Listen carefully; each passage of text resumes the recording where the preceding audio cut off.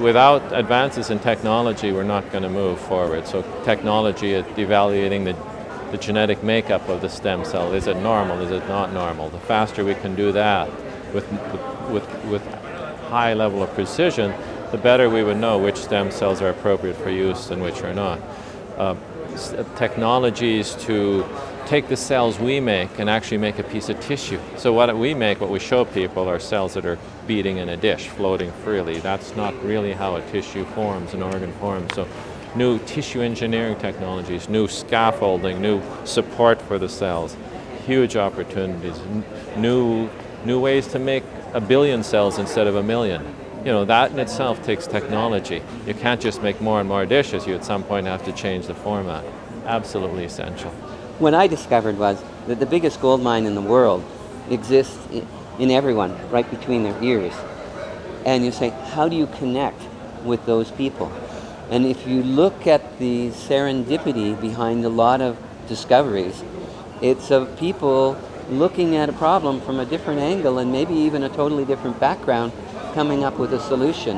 And the more we can encourage that type of conversation, the closer and the sooner we'll get to a discovery that breaks the boundaries. And that's what we're out to do break the boundaries down and move faster. People need a reliable source, a place they can go to know where is the research at now. And we're also uh, investing heavily in young talent.